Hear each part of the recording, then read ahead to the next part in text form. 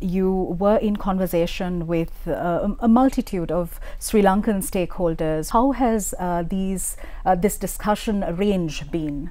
Well, I think it's important for me as an ambassador, as a foreigner, to not just sit in my office in Colombo and read the newspapers, but go out and meet with everybody from all walks of life and beyond Colombo as well. So I've met with different party, political party leaders, farmers, teachers, students. I've traveled around the country to hear firsthand what their views are, what their perspectives are.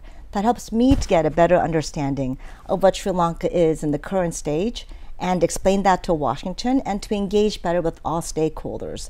I think that communication is important at all levels.